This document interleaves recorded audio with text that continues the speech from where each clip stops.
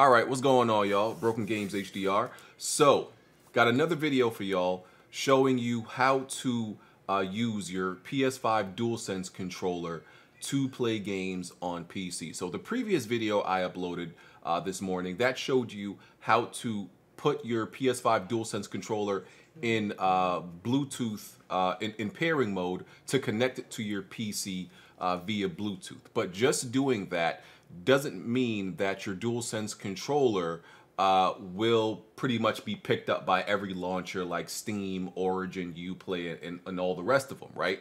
That just means that your PC will detect it and your PC will, will pick up the inputs. That doesn't mean all the launchers will. So in this video, I'm going to show you how to play games using the controller with, uh, with Steam specifically through big picture mode. So here's the Steam main page, right? You open your open Steam, you go to the uh, main page, then you go to big picture mode, right?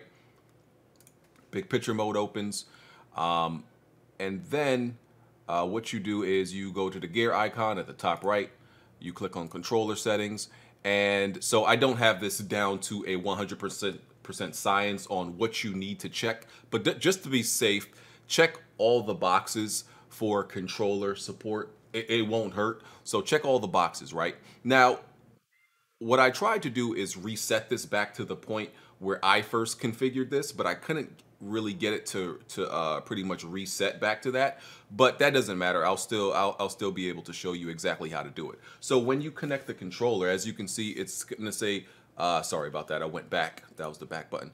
Um, so you're going to see detected controllers. It says PS4 controller because I pretty much uh, chose this to be a PS4 controller because obviously there's no choice to make it a, a, PlayStation 5 controller, right?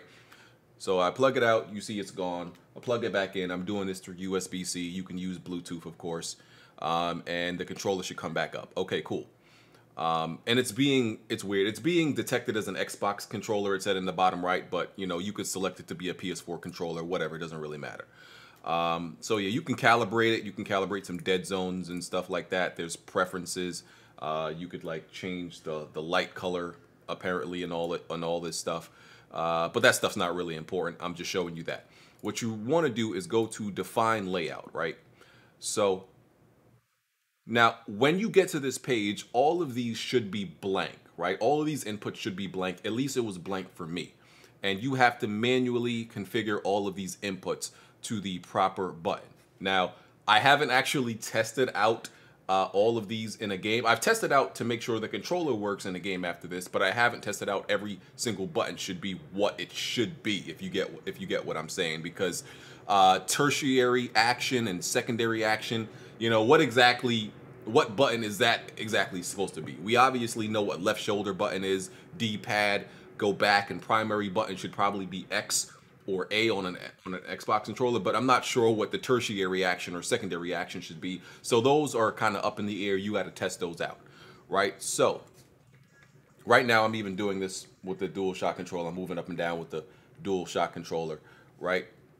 So what I'm gonna try to do, let me try to reset all of them. Okay, I hit reset. Now I'm going up and down with the DualSense controller. Primary action, I'm gonna make that X. Um, go back, I'm gonna make that circle. See, see, but now it's actually asking me, do I wanna exit? No, I wanna make that circle. What the hell? Okay, hold on, let me, okay, now I clicked on it with my mouse, um, and now it allowed me to make that circle. Tertiary action, I'm gonna just try to, okay, so I guess I gotta click on all of these manually because it's actually reading the input outside of me trying to make that the actual button. Okay. Go back, circle, tertiary, triangle, secondary, I guess I'll make that square. Start, let's make that the the the button on the right. I, get, I think that's the menu button. Guide, uh, what did I make that? I don't think I don't think the share button. Okay, I made that the share button. Back, it's weird because okay, there's there's go back and then there's back. I don't know what the hell the difference is supposed to be but let's make that the touch. I can I made that the touchpad, and then it actually went back. Awesome, love it.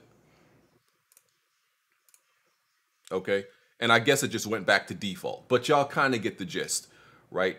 Left, left stick, click, Oh, that was click. My bad. Left stick click. That's actually when you press it down. Uh, right st right stick click. Push down the right uh, the right analog. Left shoulder. That's the that's the bumpers. Right shoulder. D-pad up. Y'all get the gist. Left stick X. That's the X axis. That's left and right. That's so that's horizontal and uh, left stick Y. That's that's up and down. Um, one thing my teachers used to tell me to remember this is Y is high or Y is sky, something like that.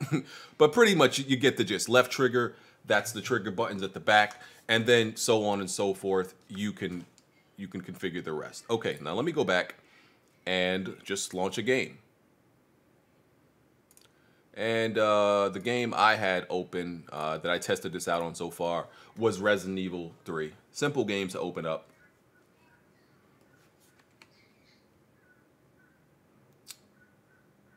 Yeah, my um hopefully my um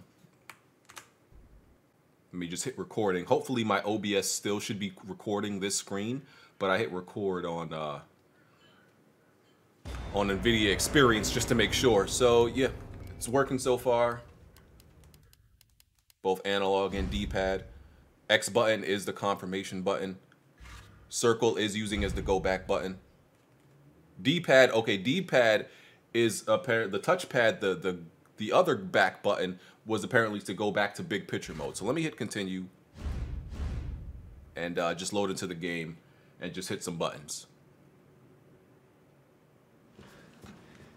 Oh, come on. And for some reason, I'm here in the game. Um, of course, I beat this game already. So yeah, everything seems to be working properly. Everything seems to be working properly.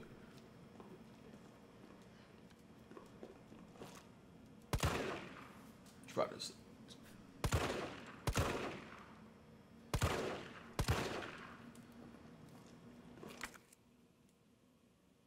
Okay, Square was Whatever I made square, that takes me to the menu, so I would probably have to change that. Okay, that yeah, that's the dodge button. I know this isn't the best angle, but as y'all can see, I'm clearly doing this with the dual shock. Yeah, that all the directional buttons are working.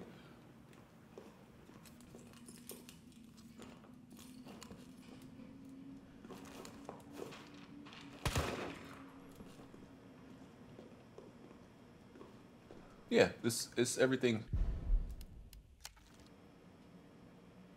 Everything seems to be working working properly. So yeah, um, I assume I would assume that this works okay with all the games in Steam.